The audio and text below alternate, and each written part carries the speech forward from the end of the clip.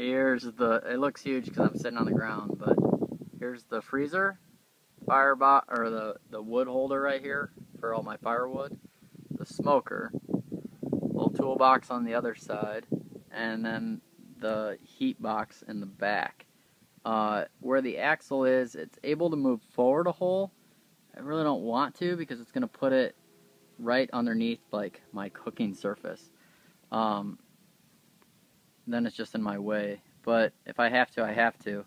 Um, the question for you it would be if I move the axle forward, is it going to relieve some weight off the front?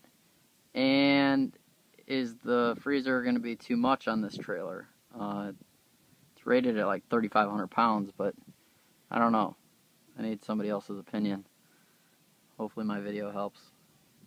It's a 19 foot boat trailer, so the space is there. I just don't know if it's going to work when I make it work. Alright, call me.